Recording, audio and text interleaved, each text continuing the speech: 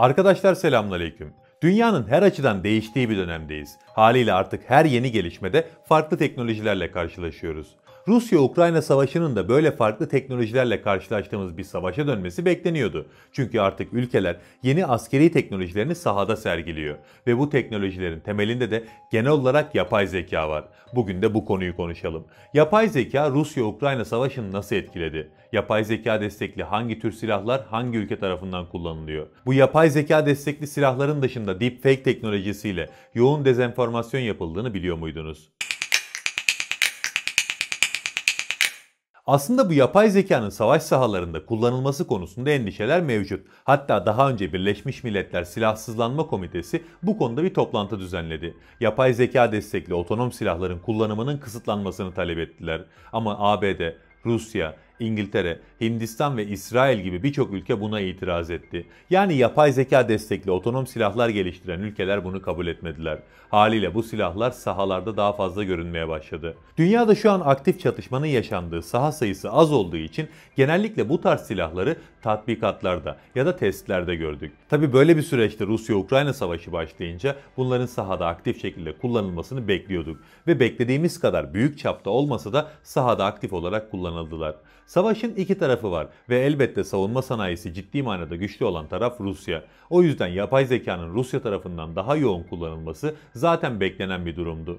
Ukrayna tarafına baktığımız zaman bildiğimiz bir sistemle karşılaşıyoruz. Bayraktar TB2. TB2 otonom olarak kalkış, iniş ve seyir yapabiliyor. Ama bu sistemi Türkiye geliştirdiği için ahlak sınırlarının dışına çıkmadan saldırı yapıyor. Mesela şu an Bayraktar sahada gezip hedefini bulup kendi başına imha edebilecek kapasitede. Yani hiçbir insan müdahalesi olmadan da bunu yapabilecek hale getirilmesi çok basit. Ama yapılmıyor. Hedefi bulduktan sonra mühimmatın ateşlenmesi kısmı bir insanın onayına bırakılıyor. Hatta daha önce Libya üzerinden benzer bir konuda Türkiye'yi sıkıştırmaya da çalıştılar. Bizim Kargo 2 insansız hava aracımızın yapay zeka desteğiyle hiçbir insan yardımı olmadan düşmanı bulduğunu ve imha ettiğini yazdılar. Hatta bu Birleşmiş Milletler raporuyla ortaya atıldı. Türkiye'de de o dönem medya bundan gururla bahsetti. Ama o zaman da demiştim. Bu konuda ciddi bir tuzak vardı. Bir silahın yapay zeka ile kendi başına bir insanı bulup öldürmesi kabul edilebilir bir şey değil. Ki zaten Kargo 2 de saldırı yapmadan önce operatörden izin alacak şekilde geliştirilmiş bir drone.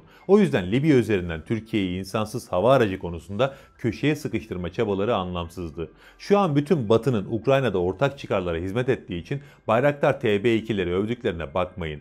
Normalde Türkiye'nin insansız hava aracı konusunda bu kadar iyi durumda olmasından çok rahatsızlar. Ve Libya'da yaşanan olay da bu rahatsızlığın bir yansımasıydı. Tabi bunlar tamamen farklı tartışma konuları. Bu tartışma üzerinden konuyu daha fazla uzatmayalım. Yani kısaca söylersek Ukrayna'nın elinde yapay zeka destekli tek otonom sistem Bayraktar. Bir de şimdi Amerika'nın göndereceği dün konuştuğumuz kamikaze dronlar olacak. Bu savaşta yapay zekayı daha aktif şekilde kullanan taraf Rusya. En azından böyle olduğunu iddia ediyorlar. Rusya uzun zamandır yapay zekanın öneminin farkında. Hatta 2017'de Putin bu konuda açıklamalar da yapmıştı. Yapay zekanın sadece Rusya'nın değil bütün insanlığın geleceği olduğunu söylemişti. Büyük fırsatlar ve büyük tehditler bu alanda gizli. Bu alanda kim lider olursa dünyanın hükümdarı o olacak demişti. Ve özellikle o zamanlardan beri de Rusya'da yapay zekanın kullanımının geliştirilmesi için büyük yatırımlar yaptı. Ve şu an bunun meyvelerini yemeye başladıklarını iddia ediyorlar. İddia ediyorlar diyorum çünkü bu yapay zeka destekli silahların sahada net olarak görebildiğimiz kanıtlı bir saldırısı henüz mevcut değil. Daha önce de bu silahları Suriye'de kullandıklarını iddia etmişlerdi. Ama yine konuyla ilgili herhangi bir video ya da kanıt yoktu. Peki Rusya yapay zekayı savaş sahasında nasıl kullanıyor? Rusya yapay zekayı bu savaşta hem silah olarak hem de dezenformasyon için kullanıyor. Öncelikle dezenformasyon kısmına bakalım. Çünkü gerçekten bu çağda bir savaşın sahadaki çatışma kadar önemli olan kısmı bu. Rusya merkezli bir grup yapay zeka tarafından oluşturulan ve gerçek insanlara ait olmayan insan yüzleriyle sosyal medyada Ukrayna karşıtı paylaşımlar yapmaya başladı. Oluşturulan bu sahte profiller Facebook, Instagram, YouTube ve Twitter'da dünyanın farklı bölgeleri ve dillerinde savaşla ilgili Rusya'nın istediği şekilde propaganda yaptılar. Deepfake yöntemiyle oluşturulan bu sahte yüzlerin gerçekle ayırt edilmesi imkansızdı. O yüzden bu propaganda girişiminin fark edilmesi çok uzun zaman aldı. Fark edildikten sonra bulunabilenler sosyal medya şirketleri tarafından kapatıldı. Ama yapay zeka ile bu iş o kadar hızlı yapılıyor ki hesap kapatmak bu konuyla baş etmek için yeterli olmayacak gibi. Tam olarak böyle olmasa da Ukrayna'da aslında yapay yapay zekayı buna benzer bir amaçla kullanıyor. Savaşta ölen Rus askerlerinin kimliğini tespit etmek için yapay zeka destekli bir yüz tanıma yazılımı kullanıyorlar. Bu yazılım Rus askerlerinin resmiyle sosyal medya hesaplarını eşleştirerek kimlik tespit ediyor ve Rusya'daki insanlar savaşın gerçeklerinin farkına varsınlar diye o profilin arkadaşlarına o profilin sahibinin öldüğünü duyuruyor. Bu da yeni ve ciddi bir propaganda yöntemi. Yapay zekanın Rusya-Ukrayna savaşının bilgilendirme ile alakalı kısmında yansıması bu şekildeydi. Bir de bunun dışında yapay zeka destekli silahlar var. Biliyorsunuz dün de konuşmuştuk. Kamikaze drone sahibi dünyada 3 ülke var. Türkiye, ABD ve İsrail. Bu ülkeler kamikaze dronları üreten ve sahada aktif olarak kullandığını kanıtlayan ülkeler. Bir de bunların dışında Rusya ve Çin gibi böyle silahları ürettiğini iddia eden ama sahada şimdiye kadar kullandığına dair bir kanıt olmayan ülkeler de var. Rusya daha önce Suriye'de kullandığını açıkladığı Lancet ve Kup insansız sistemlerini Ukrayna'da da kullanmaya başladığını açıkladı. Bir de bunların yanında Uran 9 insansız muharebe kara aracını da Ukrayna'ya gönderdiklerini ilan ettiler. Öncelikle Lancet Rus kamu kurumu olan Kalashnikov grup tarafından geliştirilen bir sistem. Son 1-2 yıldır Suriye'de kullanıldı ve burada saha testlerinin yapıldığı iddia edilmişti. Bu konuda 1-2 video da yayınlandı. Sistem bizim Alpagu'ya benzer bir sistem. 3 kilo patlayıcı taşıyabiliyor. Daha önce tanıtımı için yayınlanan animasyon videoda hedef olarak da Bayraktar TB2'yi göstermişlerdi. Sonuçta Bayraktar Rusya'nın travmasına dönüşmüş durumda. Bunlar gayet doğal yani. Daha önce de Tor M2'nin İHA sistemlerine karşı etkinliğini anlatırken yine Bayraktar TB2'yi hedef olarak göstermişlerdi.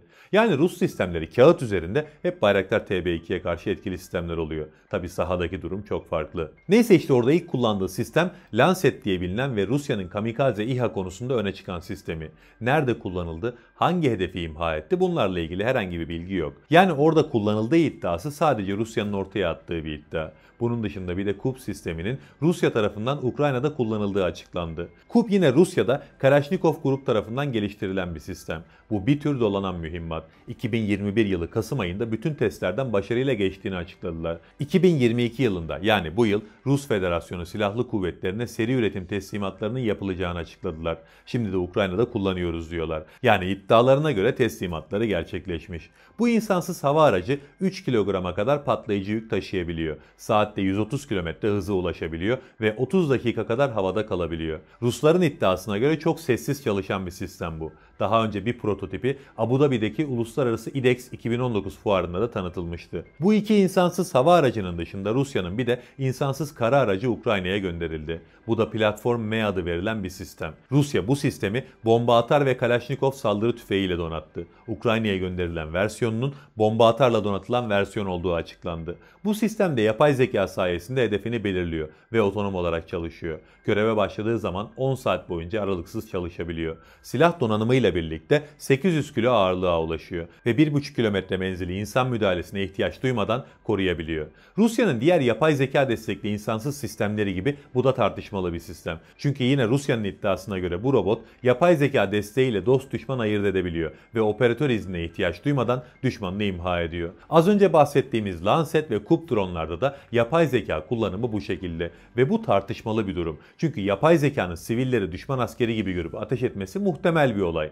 Yani kısaca söylersek Rusya-Ukrayna savaşında yapay zeka iki ülke tarafından da belli alanlarda kullanılıyor. Rusya daha aktif kullanıyor ama Rusya'nın silah olarak kullandığı yapay zeka destekli sistemler farklı tartışmalarında muhatabı. Çünkü Rusya'nın iddiasına göre bu silahlar operatör onayı olmadan düşman unsurlarını imha ediyorlar. Bu da savaş kanunlarına ve savaş ahlakına aykırı bir durum. Ama tabi savaştığı yerlerde sivillerin üzerine bomba yağdırmayı gelenek haline getirmiş bir ülke için normal. O yüzden Rusya'nın bunu yapması bizim için şaşırtıcı değil. Aynı şekilde bizim yapay zeka destekli silahlarımızın da bizim savaş ahlakımıza uygun şekilde düşmana ateş etmeden önce operatörden izin alması da yine şaşırtıcı değil. Ahlak ahlaktır. Sahada doğrudan askerimizle de yapay zeka destekli sistemleri geliştiren mühendislerimizle de bu farkı her zaman ortaya koymak bizim için büyük bir gurur. Allah'a emanet olun.